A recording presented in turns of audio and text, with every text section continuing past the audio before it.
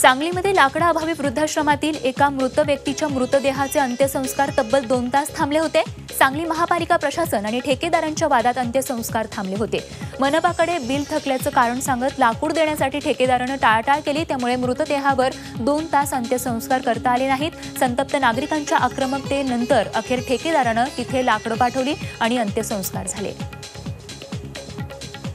नगरपालिका त्यांचे देणे असल्याचे कारण सांगून त्यांनी आम्हाला लाकडं देण्यास नकार केला. त्या ठिकाणी थोडाफार आमचा वेळ गेला. आम्हाला जवळजवळ अडीच तीन तास कालावधी या ठिकाणी गेला. शेवटी विनंतीवरून त्यांनी महा आयुक्त यांच्याशी संपर्क साधला असता. निक्षानं वृद्धाश्रमातील हे डेड बॉडी असल्यामुळं शेवटी आम्हाला लाकडं देण्यात आली. ती लाकडं सुद्धा ओली होती. आणि ती लाकडं ओली असल्यामुळं त्या स- कर्म तिथे जे कर कर्मचारी नियुक्त केलेत त्या कर्मचाऱ्यांना दुसरी जी बॉडी जळत होती साईडची त्या बॉडीमधलं साईड लाकडं जळकी लाकडं घेऊन त्या बॉडीवर त्यांना ठेवावी लागली.